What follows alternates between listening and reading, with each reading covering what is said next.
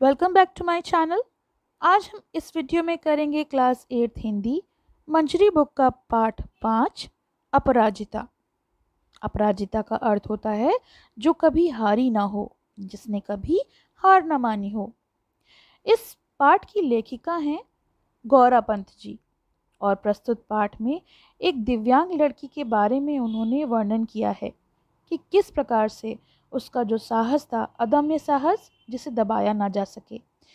और उसके विलक्षण प्रतिभा का वर्णन करते हुए ये स्पष्ट किया है कि व्यक्ति का अगर इच्छा शक्ति दृढ़ हो तो वो विपरीत परिस्थितियों में भी अपने लक्ष्य को प्राप्त कर सकता है। अगर परिस्थितियाँ उसके अनुकूल ना हो, तब भी वो अपने लक्ष्य को हासिल कर सकता है। तो चलिए, हम कहानी पढ़ते हैं। साथ ही साथ मैं आपको एक एक शब्द का अर्थ बताती चलूँगी।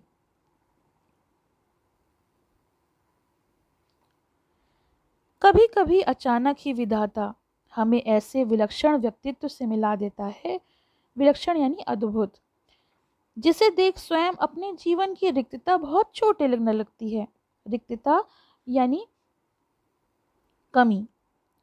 तो हमें अपने जीवन की कमी तब छोटी लगती है जब हम किसी और को देखते हैं जो हमसे भी ज़्यादा कठिनाइयों में है, हमसे भी ज़्यादा परेशानी में है।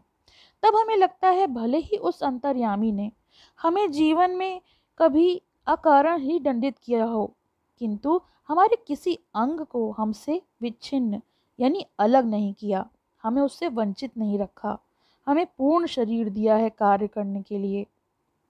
फिर भी हम में से कौन मानव ऐसा है जो अपनी कठिन परिस्थितियों में विधाता को दोषी नहीं ठहराता? हमेशा हम भगवान को कोसते रहते हैं, हे भगवान, हमारे साथ ऐसा क्यों किया? हमें ये क्यों नहीं दिया? हमें ये क्यों ऐसा नहीं किया? तो इस तरह से हम हमेशा भगवान को दोषी करार बताते रहते हैं कि सारी गलती भगवान की है। आगे बढ़ते हैं। मैंने अभी पिछले ही महीने एक ऐसी अभिशप्त काया देखी है, जिसे विधाता ने कठोरतम दंड दिया है। किंतु उसे वह नतमस्तक आनंदी मुद्रा में झेल रही है। विधाता को कोस कर नहीं। तो यहाँ पे लेखिका बताती हैं कि उन्होंने पिछले ही महीने एक ऐसी शरीर को देखा है, यानी एक ऐसी लड़की को देखा है, जो शापित है, जिसको अभिशाप मिला है। जिसको भगवान ने कठोर दंड दिया है, उसके बावजूद वो विधाता को कोस नहीं रही है, बल्कि अपनी ज़िंदगी को आनंद मुद्रा में झेल रही है, नतमस्तक यानी सर झुकाकर उसे उसने अपना लिया है।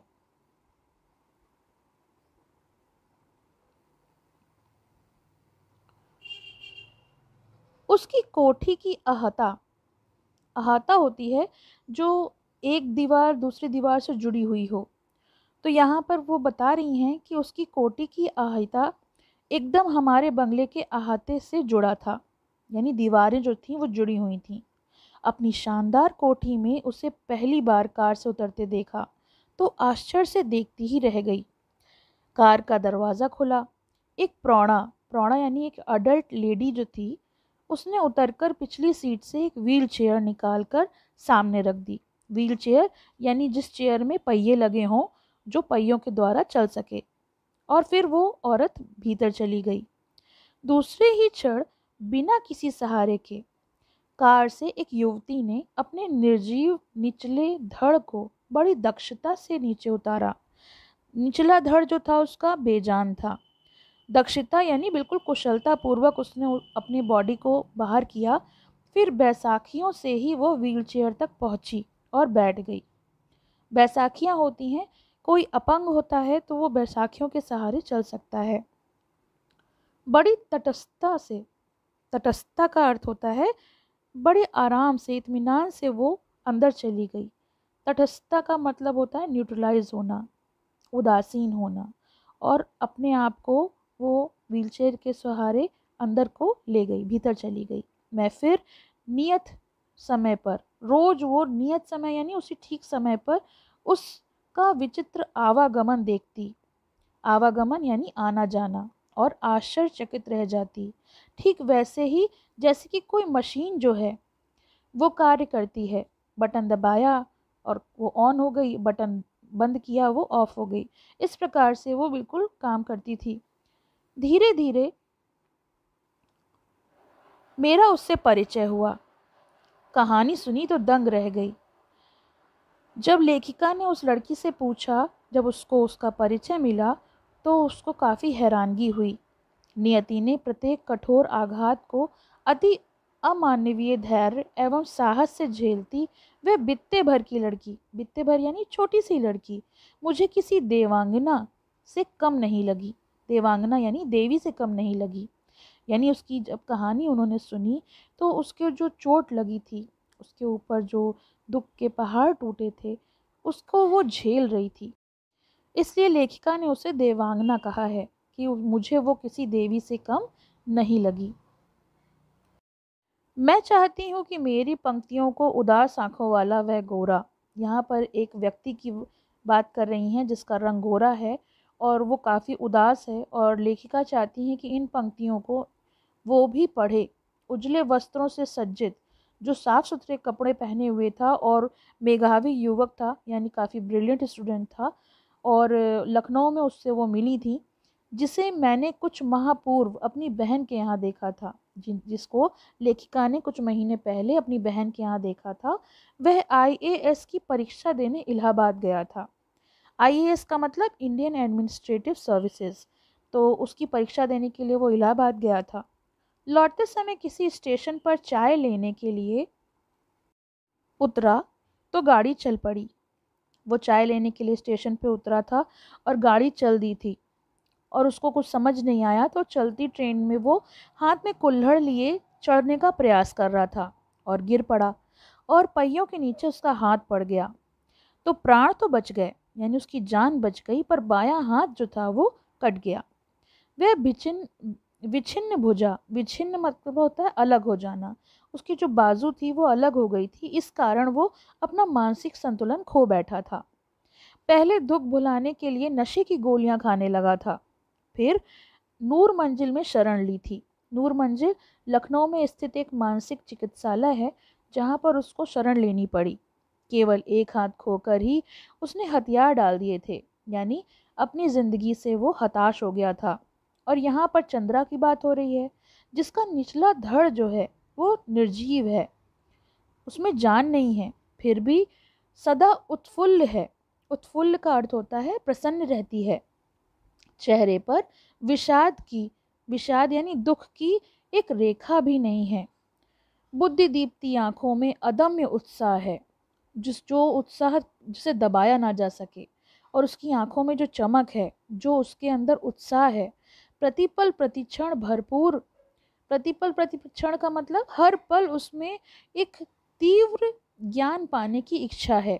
जी जी विषा का अर्थ होता है ज्ञान पाने की चाह और फिर फिर कैसी महत्वाकांक्षाएँ। और इतना ही नहीं, उसके अंदर इतनी सारी इच्छाएँ हैं, इतने सारे उसके लक्ष्य हैं कि वो कभी भी अपनी जीवन की कमी को अपने आसपास भटकने ही नहीं देती है। मैडम, आप लखनऊ जाते ही क्या मुझे ड्रग रिसर्च इंस्टीट्यूट से पूछकर बताएँगी कि क्या वहाँ आने पर मेरा विषय माइक्रोबायोलॉजी से संबंधित कुछ सामग्री मिल सकेगी? तो यहाँ पर वो चंद्रा जो है, उसने लेखिका से पूछा था कि ड्रग रिसर्च इंस्टीट्यूट में आप पता करके बता सकती हैं कि माइक्रोबायोलॉजी, जिसे हम सूक्ष्म जैविका बोलते हैं, एक सब्जेक्ट होता है सूक्ष्म जीव विज्ञान वहाँ पे वो अपना बायोडेटा सबमिट करना चाहती थी। इस कारण वो लेखिका से कह रही थी कि क्या आप पता करके बता सकती हैं? मैडम, आप कह रही थी कि आपके दामाद हवाई के ईस्ट वेस्ट सेंटर में हैं। क्या आप उन्हें मेरा बायोडेटा भेजकर पूछ सकेंगी कि मुझे वहाँ की कोई फेलोशिप मिल सकती है? फेलोशिप यानी जो शोध छात्र होते हैं, जो रिसर्च कर रहे होते हैं, उन्हें मिलने वाली छात्रवृत्ति। यानी मैरिट जो होती है, उसकी बात हो रही है। यहाँ कभी सामान्य सी हड्डी टूट जाती है या फिर पैर में मोच आ जाती है तो प्राण ऐसे कंठगत हो जाते हैं। यानी हम लोग को ज़रा सी समस्या होती है, कोई हड्डी टूट गई या पैर में मोच आ गई तो ऐसा लगता है जैसे जान गले में अटकी है। जैसे विपत्ति का आकाश सिर पर टूट पड़ा है, सर पे मुसीबत आ गई है, और इधर ये लड़की पूरा निश्चल धड़, सुन्न धड़ जो है, उसको लेकर भी उसकी बोटी बोटी, यानी उसकी हर चीज़ बिल्कुल फड़क रही है। इतनी ज़्यादा वो एक्साइटेड रहती है, उत्साह से भरी हुई रहती है। ऊँची नौकरी की एक नीरस करवट ही उसकी निरंतर प्रतिभा डूबती जा रही है और आजकल वह आईआईटी मद्रास, यानी चेन्नई में काम कर रही है। जन्म के अट्ठारहवें महीने में ही उसके गर्दन के नीचे का पूरा शरीर पोलियो से निर्जीव हो गया था। उसे पोलियो हो गया था, इस कारण उसका जो नीचे का धड़ था, उसने कार्य करना बंद कर दिया था, सुन्न हो गया था। उसके किस अद्भुत साहस की नियति का अंगूठा दिखा दिया, लेकिन जो उसका साहस था, उसने अपने इस बुरे समय को भी ठेंगा दिखा दिया, अंगूठा दिखा दिया और हार नहीं मानी। अपनी थीसिस पर डॉक्टर डॉक्टरेट कर ली होगी। मैडम, मैं चाहती हूँ कि कोई मुझे सामान्य सा भी सहारा ना दे। यहाँ पे चंद्रा की ख्वाहिश थी कि कोई मुझे अपंग ना समझे बेसहारा ना समझे। आप तो देखती हैं, मैं, मेरी कार जो है, वो मुझे चलानी, मेरी माँ को चलानी पड़ती है। मैंने इसी से एक ऐसी कार का नक्शा बना दिया है, जिसमें मैं अपने पैरों के निर्जीव अस्तित्व को भी सजीव बना दूँगी। तो वो ये बताती है कि उसने एक ऐसा नक्शा बनाया है, जिसमें अगर नीचे का हिस्सा कार्य ना भी करता हो, तब भी वो इंसान गाड़ी चला सकता है। ये देखिए, मैंने अपनी प्रयोगशाला में अपना संचालन को सुगम बना लिया है और मैं अपना सारा काम अब स्वयं निपटा लेती हूँ। और इस तरह से उन्होंने लेखिका को तस्वीरें दिखाई। तो ये तो हो गया इस पार्ट का पहला भाग। इसका आगे का भाग हम अगले पार्ट में करेंगे और इस पार्ट के प्रश्न अभ्यास चाहिए तो उसका लिंक भी आपको डिस्क्रिप्शन में मिल जाएगा।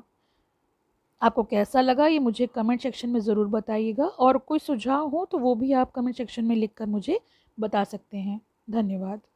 अभी तक आपने मेरे चैनल को सब्सक्राइब नहीं कर लिया है तो कर लें, जिससे कि आपको आने वाले वीडियोज़ के अपडेट्स मिल सकें। पसंद आया हो तो लाइक करें, शेयर करें और चैनल को सब्सक्राइब करें।